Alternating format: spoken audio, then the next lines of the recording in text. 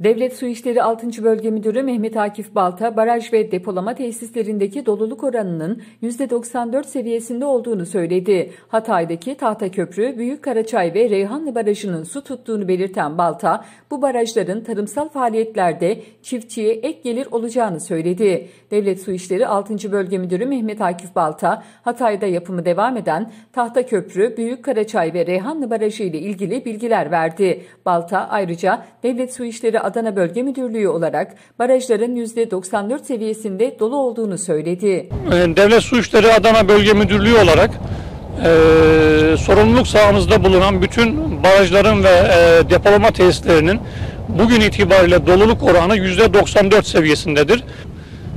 Arazisini sulayamayacak durumda olan e, e, vatandaşlarımıza yardımcı olmak amacıyla ve dünyayı saran bu salgın dolayısıyla e, tarımsal e, üretime destek olmak amacıyla e, bütün çiftçilerimizi DSİ olarak ve sulama birlikleri olarak e, gezmekteyiz ve sulama e, noktasında sıkıntı çeken e, vatandaşlarımızı tespit ederek e, bunlara e, sulamalarını yapma noktasında da e, yardımcı olmak için tüm ekiplerimizi seferber etmiş durumdayız. E, Tahta Köprü Barajı'nda e, tüm çalışmalar e, da sona gelinerek su tutulmaya e, başlanmıştır. E, ve Tahta Köprü Barajımızda e, biriktirilen suyla birlikte yaklaşık e, 415 bin dekarlık bir sahada tarım arazında çiftçimizi sulama suyuyla kavuşturmuş olacağız. Ayrıca Tahta Köprü Barajımızda yılda yaklaşık 20 milyon kilowatt saat bir elektrik enerjisi üretimi de sağlamış olacağız. Bunun yanında e, yöredeki taşkın riskini de e, azaltmış e, durumda olacağız. E, barajımızda yaklaşık e, 326 milyon metreküp e, su e, depolanacak olup e, çiftçimizin cebine yıllık tarımsal faaliyetlerden kaynaklı olarak 310 milyon TL'lik bir e, ilave e, gelir artışı e, ve ilave bir para girişi sağlamış e, olacağız.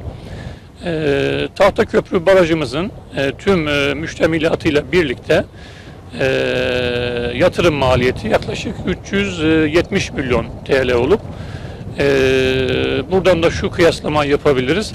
Bu baraj yaklaşık e, kendini bir buçuk yıl ya da iki yıl gibi bir e, süre zarfında e, amorti edecektir.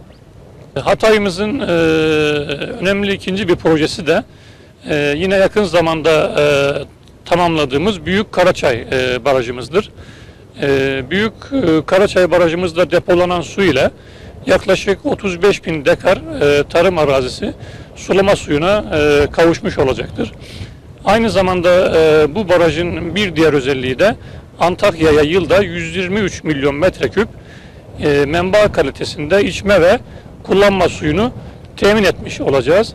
Bir diğer faydası e, Büyük Karaçay Barajı'nda yılda yaklaşık 15 milyon kilowatt saat elektrik enerjisi üretilecektir.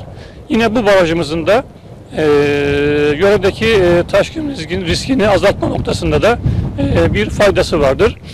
E, barajımızın toplam yatırım maliyeti e, 218 milyon e, TL olup bu barajımızın da ülkemize, Hatay'ımıza e, hayırlı uğurlu olmasını temenni ediyorum.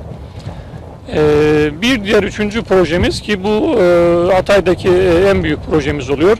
Reyhanlı Barajı'dır. Reyhanlı Barajı'nda da e,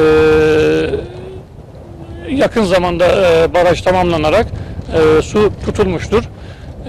Aynı zamanda Reyhanlı Barajı'na su aktarımını sağlayan Davutlar regülatörü ve iletim kanalı da tamamlanarak şu an Reyhanlı Barajı'na bu regülatörden yıllık 21 milyon metreküp suyu Afrin çayından aktarmaya başlamış durumdayız. Reyhanlı Barajımız e, e, hakikaten e, 600 bin dekarlık bir e, tarım arazisine e, sulama suyunu temin eden büyük bir proje. Bunun yanında 200 bin dekar tarım arazisini de e, taşkınlardan korumuş oluyoruz. E, Reyhanlı Barajı'na e, su aktaran Davutlar e, regülatörü ve e, iletim kanalı da yaklaşık e, Türkiye'nin e, en büyük kapasitesine sahip iletim kanalıdır.